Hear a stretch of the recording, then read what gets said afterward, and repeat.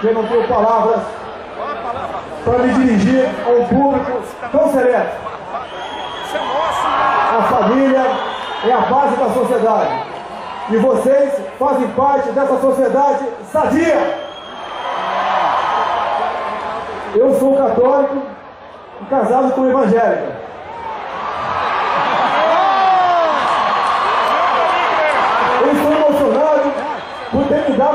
Oportunidade de falar. Confesso que vim aqui para ouvir quem está aqui e para sentir como vocês estão sentindo quem está aqui falando.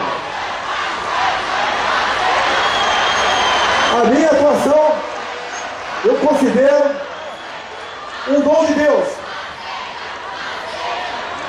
A oportunidade que eu tenho de estar dentro do Congresso e poder usar com todas as forças que Deus me deu a palavra defesa da família, em defesa da sociedade, em defesa da liberdade religiosa e da liberdade de expressão.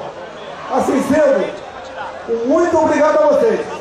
Não sou evangélico, mas temos o mesmo objetivo, que esse sol que nos brilha na frente aqui, em nome de Deus. Em nome de Deus, muito obrigado.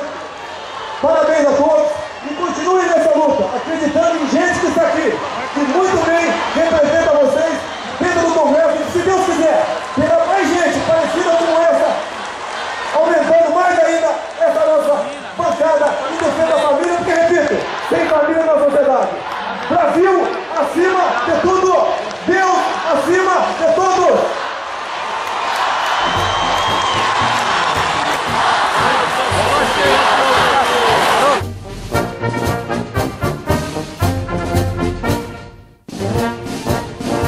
Você sabe